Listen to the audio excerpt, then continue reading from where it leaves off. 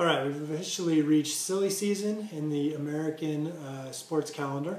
Uh, this is when whatever you've done on the court or field no longer matters, and all that matters is your measurements and how fast you can run a 40 yard dash or how high you can jump. Um, and so it started off, kicks off with the NFL Combine every year, and then we go on to the NFL, the Pro Days, where the NFL draft picks will perform for scouts. Uh, and somehow, you know, through all these, uh, when draft mistakes happen, nobody can understand why.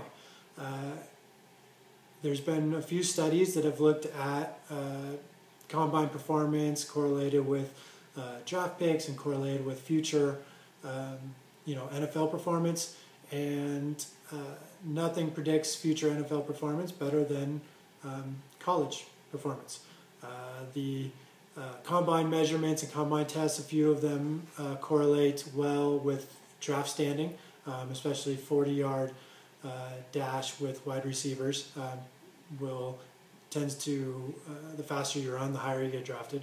Um, but still, for most positions, uh, game tape is the best predictor of future success.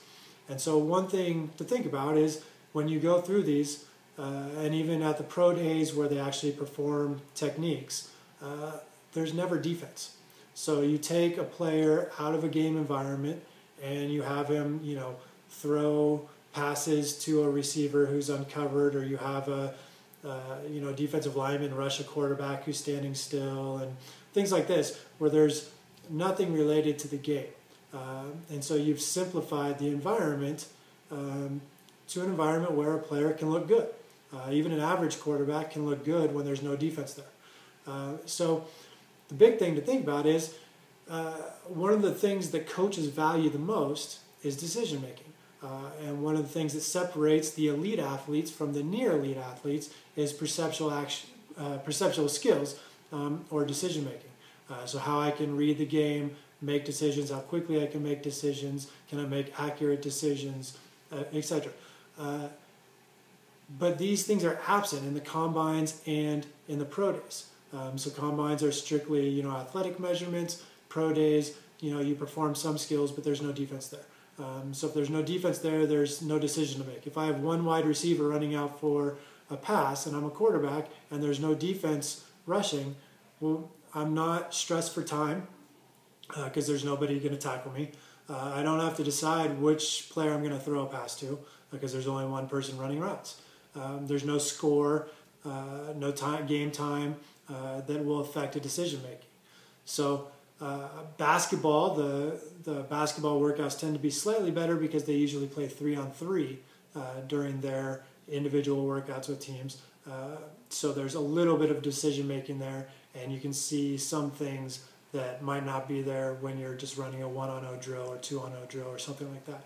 Um, so when when these mistakes are made in the draft and, and somebody comes out of nowhere that you know didn't look good on tape but suddenly has the measurables uh, and gets drafted higher and then doesn't succeed quite as well in the NFL or NBA, just remember that we're we're overemphasizing these tests that have absolutely nothing to do with the game and eliminate what is probably the most important part of you know an athlete's success, which is their ability to make decisions and make accurate decisions quickly.